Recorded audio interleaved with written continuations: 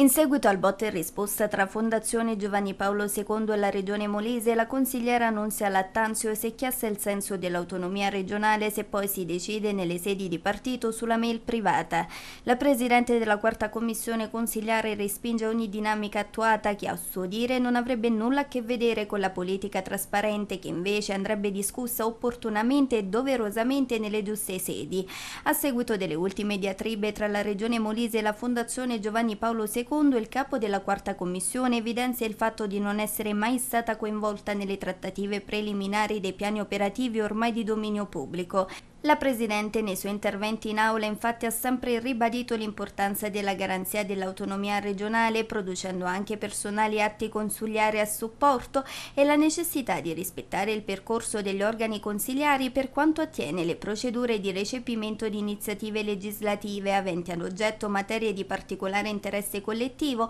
tra cui naturalmente quella afferente alla salute. Per dette ragioni, con estrema urgenza, la consigliera Lattanzio avrebbe convocato per il prossimo lunedì 18 aprile un'audizione con il commissario ad acta alla sanità e presidente della regione Paolo di Laura Frattura. Immediata la risposta del governatore all'invito della Lattanzio, Frattura avrebbe ricordato alla consigliera che non è nelle sue prerogative né nei suoi poteri convocare tanto più per audizione il commissario e il subcommissario della sanità molisana, che rispondono solo al governo che li ha nominati con delibera del presidente del Consiglio dei Ministri per la prosecuzione del piano di rientro dai disavanzi avanzi sanitari. In questo lavoro il commissario è affiancato dai ministeri della salute, dell'economia e finanze. Dunque, se c'è qualcosa che non è trasparente e fuori sede istituzionale, sono il richiamo alla convocazione della consigliera Annunzia Lattanzio. È evidenziato Frattura che ha continuato. Ci fa specie che una persona così prodiga di citazioni e riferimenti normativi possa essere sfuggito questo dettaglio.